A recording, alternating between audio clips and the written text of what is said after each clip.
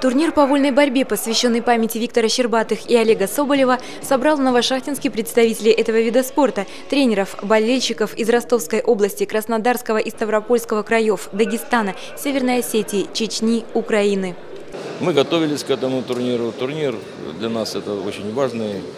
Руководство города оказывает всестороннюю поддержку новошахтинским спортсменам. Открывая турнир, мэр города Игорь Сорокин подчеркнул его значимость. Приятно видеть молодых, здоровых, сильных, занимающихся спортом. Потому что спорт, я считаю, это все. Спорт – это здоровье. Спорт – это сильная нация. Депутат городской думы Александр Рязанов пожелал ребятам спортивной удачи. Хотелось бы поприветствовать всех и пожелать честной и красивой борьбы. Спасибо. 26 лет прошло со дня первого турнира памяти воинов, погибших в Афганистане. И 26 лет корреспондент газеты «Знамя Шахтера» Лариса Желтобрюх освещает это спортивное событие. Лариса Викторовна попросила участников соревнования, тренеров и болельщиков, чтобы помнили. Я вас очень попрошу, запомните фамилии ребят, в честь которых назван турнир.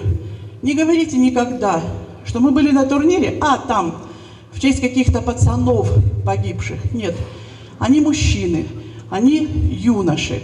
Они остались юношами, такими чуть-чуть старше вас. Ученику Элефтера Кофекиди Сергею Фомушкину занятия вольной борьбой спасли жизнь в Афганистане.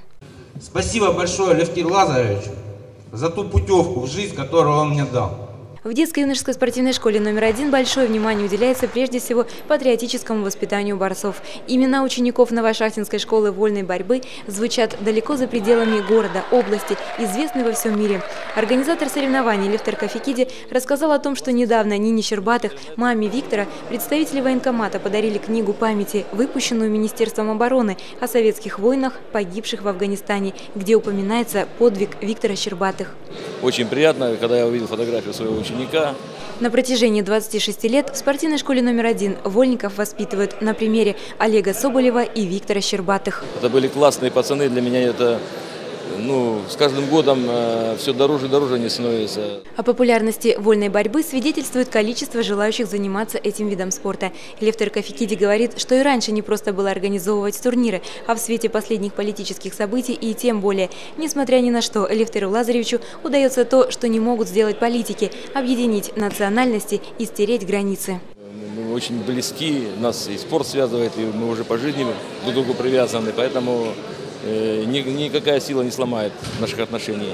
Мэр города Игорь Сорокин тоже считает, что борьба должна быть спортивной, а не политической. Несмотря на то, что это соревнование, само по себе соревнование – это как бы противоборство. Но любое соревнование спортивное, оно объединяет. Даже во время Олимпиады все останавливается, все какие-то военные действия. Поэтому это объединение, это дружба. О политической борьбе знает не понаслышке тренер украинской команды Виктор Корнегин. Нам надо дружить, соревноваться на борцовском ковре, на спортивных аренах. И что нам, собственно, делить? Более 50 лет Виктор Павлович тренирует юношей, не мыслит жизни без своих сорванцов.